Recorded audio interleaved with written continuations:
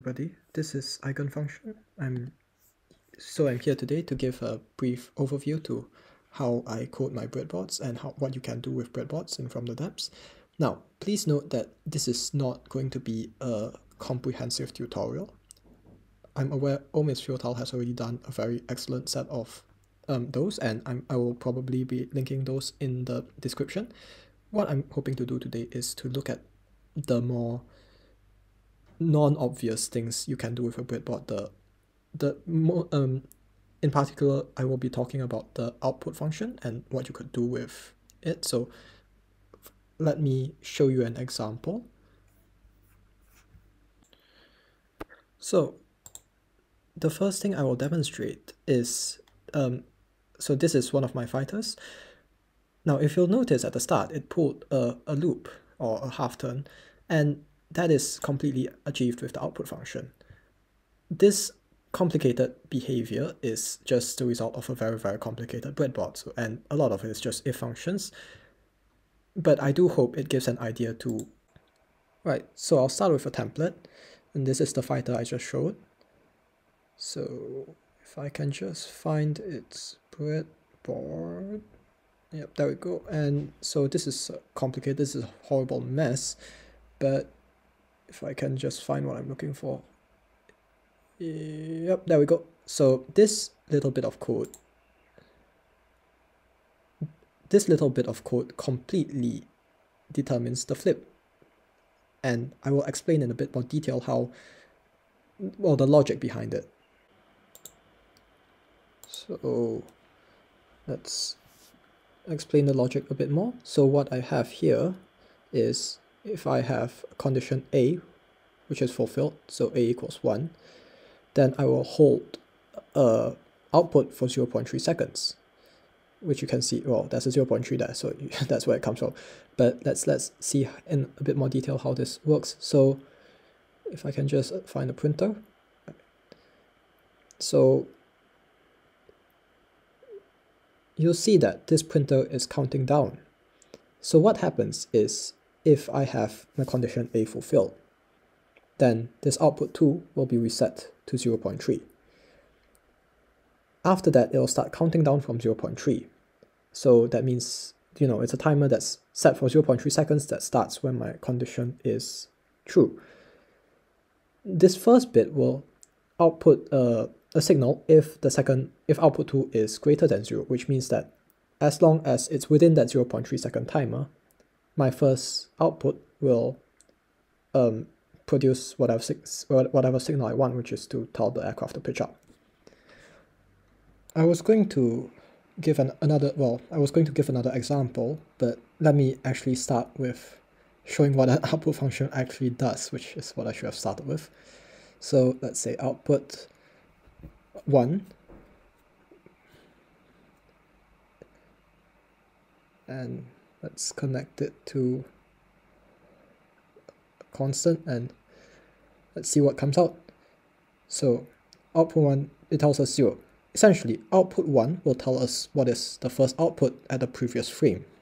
See, so if now I say output 2 and I set the second output to be A, we see that I can just get it in we see that now both outputs now output 1. So the second, the first output, which is out, will will give the second output at the previous frame, which but that is a constant, which is 1. And if you are careful, you may notice that there is a frame difference. You see, so there's a there's a slight frame difference between the two. What happens is that both are actually updated at the same so both outputs are updated at the same time, in the same frame essentially. And this this this doesn't seem like much, but it's actually where most of our um, stuff comes in. Right, sorry about that. I had a I had a call. So let's now take a look at how we take derivatives in the breadboard using the output function. So let's say I want to take the derivative of the target um, target bearing. So what I'll do is I'll connect this in. And I am going to say a no. So a minus output 2 over b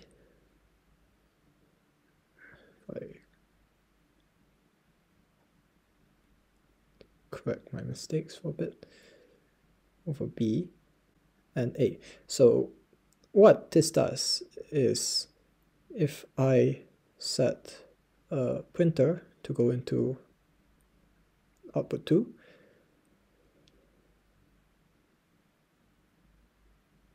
and I set B to be a delta timer. What happens is that at every frame, we will update what is coming into output 1, which is A. Output 2 will um, print the current value of the target's bearing, that's fine. But what happens with our output 2 function is that it will take the previous frame value of the target's bearing. So we can see what we, what we have here is the difference between our current target bearing and the previous target bearing divided by the time between the two. And that's exactly the, the value, like what the, dev, what the derivative is. So let me just, now this will give us the targets, like the, the, the angular, sort of angular velocity of the target with respect to us. It's not quite because we haven't really figured out our own rotational velocity and stuff like that. But, well, it's something at least, and that can be accounted for, in fact. Let me show you what I have. Right, so if, if, if, if you take a look here, what we have is, well, something that looks exactly what we were just talking about, except now I'm finding the rate of change of my yaw. So that gives me an idea of what my rotational velocity is. And to find the target's angular velocity, all I need to do is find the difference between the two. So now using these, we can then, well, we can, we can find the relative velocity of the target with respect to us and accounting for our own motion. And this opens up a whole avenue of options because you can use this to find target heading, target, um, well, target, how, how quickly the target is going to intercept you. It's not perfect because, it, well, it's, it's very much based on estimations. It's You're only taking two points in time and those two points are very close together. You're not taking averages and stuff, but it's better than nothing at least. So now let's start with an, well, not simple, but an example.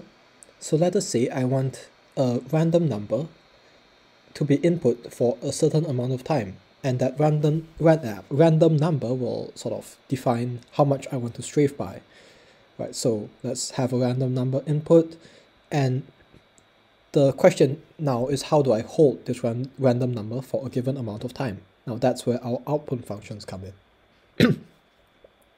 So if I input it, if I just set it to, if I, if I just set the output to be the random number, the problem we have, as you can see, is that it fluctuates. It, it updates at every frame. That's not what we want. We want to hold a given number for a set amount of time. So now that we've defined our problem, the question is how do we solve it? And that's, well, that's the core of programming, right? So what I will say is I think what I want to do now, it's quite similar to what I had for my flip code. So I want to hold a command, yes? So let's let's start with that. So let's say if output 2 is less than 0, I want to hold it for 5 seconds, so let's write 5 and we want it to count down. So let's put in an output 2 minus b. And we want this to go into the second output. So if I can just find the printer oh actually let me just put in the delta timer first. Alright and there we go. Alright and now the printer.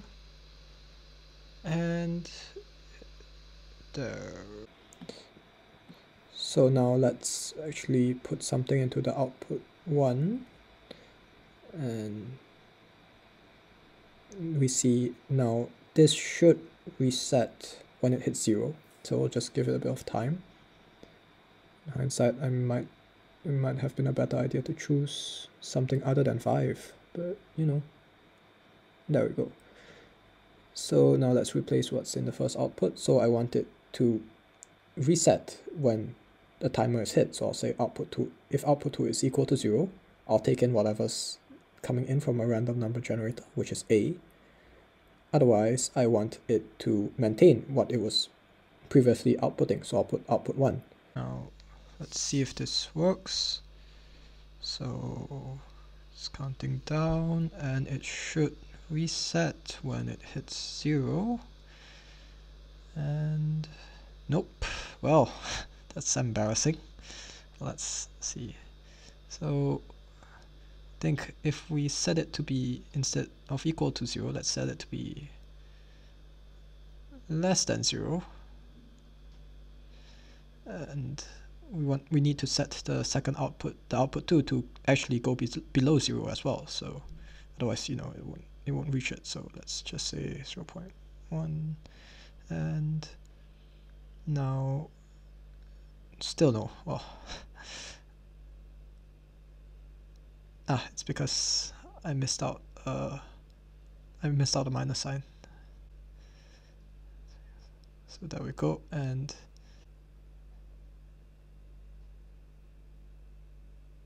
yep, there we go. So it resets, and that's exactly what we want. So I hope this gives a better idea of how you use the output functions and what you can do with them. And that's all for now. I'll see you next time.